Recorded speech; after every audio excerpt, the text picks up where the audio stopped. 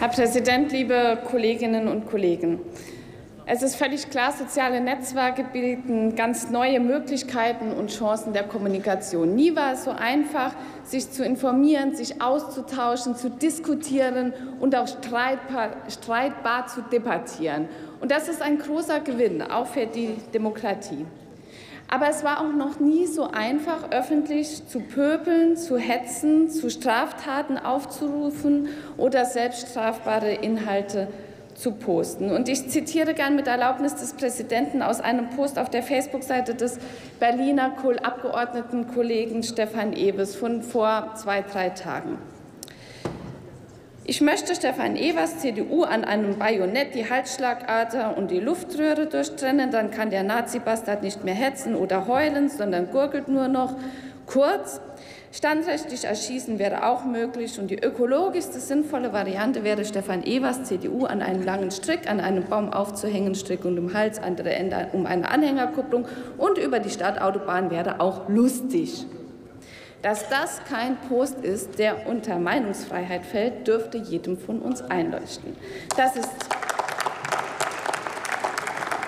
Aufruf zum Mord, das ist eine Straftat. Und als Betroffener hätte ich die Erwartung, dass dieser Post so schnell wie möglich aus Facebook entfernt wird. Und das zu Recht. Und natürlich, liebe Kollegin Sitte, ist Strafverfolgung Sache der Justiz. Und natürlich braucht es auch eine lebendige Zivilgesellschaft, um Hetze, Hass, Verleumdung im Netz zu begegnen. Das ist völlig unbestritten. Aber doch schon heute haben Plattformbetreiber die Pflicht, strafbare Inhalte von ihren Seiten zu löschen. Das ist heute schon nach Telemediengesetz die Verantwortung der Plattformbetreiber. Und wir mussten doch feststellen, dass sie das über Jahre, über Monate diesem nicht nachgekommen sind. Zahllose Beispiele kennen wir, wo sich Menschen, die Opfer von Straftaten im Netz wurden, sich an die Plattformbetreiber gewendet haben und es ist nichts passiert. Und deshalb sind wir die Meinung, dass die Zeit der leeren Versprechungen vorbei ist und dass wir ein Gesetz brauchen.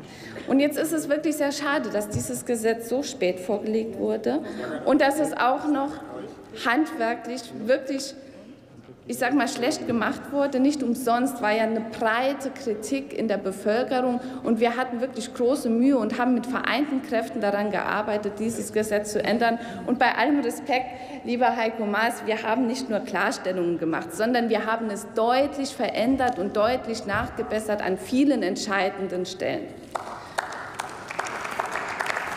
Und an der Stelle darf ich aber auch danken. Einmal dem Koalitionspartner SPD, der da wirklich an vielen Stellen mit uns gemeinsam diese Änderung vorgenommen hat und letztendlich auch dem Ministerium, die dann am Schluss doch wirklich gute Zuarbeit gemacht haben, sodass ich finde, dass wir heute ein Gesetz haben, was vielleicht nicht der Weisheit letzter Schluss ist, weil die Entwicklung dynamisch ist und weil wir das immer beobachten müssen. Aber ein Gesetz, was dem Thema Hass und Straftaten im Netz die Stirn bietet, was den Menschen zu ihrem Recht verhilft und was gleichzeitig aber einen hohen Respekt vor dem Thema Meinungsfreiheit hat. Und liebe Kollegin Sitte, ich weiß nicht, ob Sie sich die Änderungsanträge durchgelesen haben, aber wenn Sie jetzt immer noch behaupten, wir überlassen es Privaten darüber zu entscheiden, was hier von Meinungsfreiheit gedeckt ist und was nicht, dann ist das schlicht falsch. Wir haben, und das ist die entscheidende Änderung in diesem Gesetz, nun ein System der regulierten Selbstregulierung eingeführt.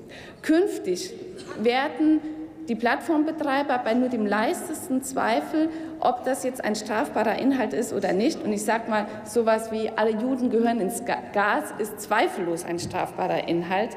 Aber nur beim leistesten Zweifel können Sie sich an eine Stelle der Selbstregulierung wenden. Sie können sich anschließen einer Selbstregulierungsstelle und dann entscheidet diese, und das ist ein neu, neutrales Kriterium mit qualifiziertem Personal, entscheidet, nach ganz klaren Kriterien, ob das der Äußerung strafbar ist oder nicht. Und das ist ja nichts Neues. Das kennen wir doch aus dem Jugendmedienschutz. Das ist gängige Praxis. Und jetzt müssen Sie nicht so tun, als wäre das hier was völlig Neues. Das ist die optimale, das optimale Setting, um dafür zu sorgen, dass wir die Entscheidung über Wahrheit oder Unwahrheit im Netz nicht Privaten überlassen und gleichzeitig auch nicht die staatliche Überwachungsbehörde etablieren. Die regulierte Selbstregulierung geht hier genau den richtigen Mittelweg. Und deshalb war es uns ein großes Anliegen, das ins Gesetz zu übernehmen.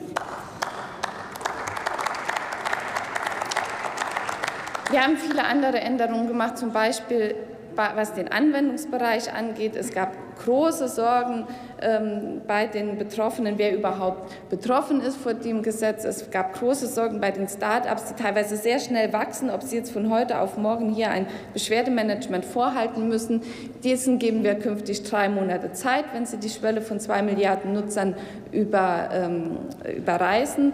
Und äh, auch den Nutzerbegriff haben wir konkretisiert. Zukünftig müssen es registrierte Nutzer sein. Und das sind wichtige Klarstellungen, die wir ins Gesetz eingefügt haben. Und ich will noch einen dritten Punkt nennen, der uns sehr wichtig war. Das ist das Thema des Zustellungsbevollmächtigten. Es ist wichtig, dass die Menschen in Deutschland auch bei internationalen Großkonzernen einen Zustellungsbevollmächtigten im Land haben, der nämlich erstmal den Weg öffnet, dass man überhaupt klagen kann, dass man zu seinem Recht kommt.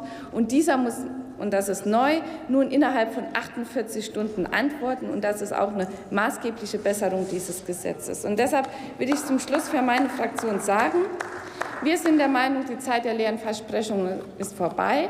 Es ist wichtig, dass wir jetzt eine gesetzliche Regelung bekommen, aber mit den Änderungen, die wir gemacht haben, haben wir das Gesetz, was eine starke Schieflage hatte, jetzt zu einem guten Gesetz gemacht, was den hohen Respekt vor der Meinungsfreiheit verbindet mit dem Anspruch derjenigen, die Opfer von Straftaten geworden sind, dass sie zu ihrem Recht kommen. Es ist ein gutes Gesetz und deshalb kann ich uns allen Zustimmung empfehlen.